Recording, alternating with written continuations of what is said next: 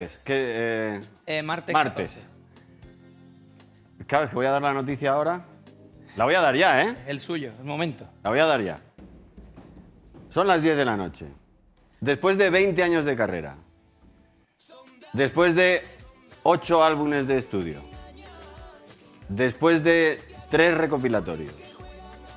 Después de 20 discos de platino. Habéis tomado una decisión y me gustaría que la compartieseis. Bueno, yo, antes que nada, decir que yo llevo todo el día con un pellizco aquí en el estómago que no puedo conmigo. Porque, bueno, eh, primero agradecer al hormiguero por darnos este escaparate tan maravilloso. Lo segundo, darle gracias a Andy por, por este tiempo, haber confiado en mí mucho como empresa. Espero que no me se me salten mucho las lágrimas. Hace cuestión de cinco años yo tomé la rienda empresarialmente de Andy Lucas y mi día a día ha sido bastante complicado porque, como bien sabe Andy, yo soy un psicópata de mi trabajo y, y me, me gusta llevarlo todo, hasta el más mínimo detalle. Y con el tiempo, pues, un año para atrás, pues me daban unos mareos y esos mareos, pues, pues se traducieron que tenía la tensión bastante alta. Me dieron otra dosis eh, y no funcionaba.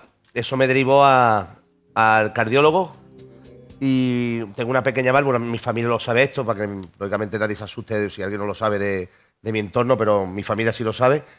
Y bueno, hemos decidido que, que creo que lo mejor es, es bajar un poco el ritmo, porque nosotros somos un grupo de trabajar lunes, martes, miércoles, jueves, viernes, sábado y después hacemos trabajo de oficina.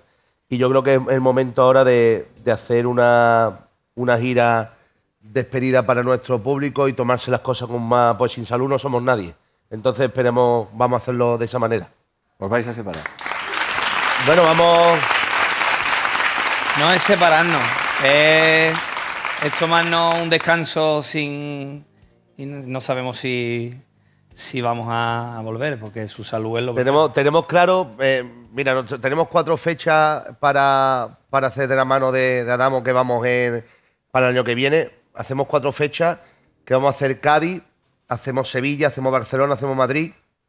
Y, y la verdad que, bueno, si dentro de esa fecha tenemos la oportunidad de llenarlo, pues lógicamente abriríamos el abanico de, de estirarlo un poquito más para otras ciudades donde se pueda, que otras, personas también tienen derecho a poder vernos en otras ciudades.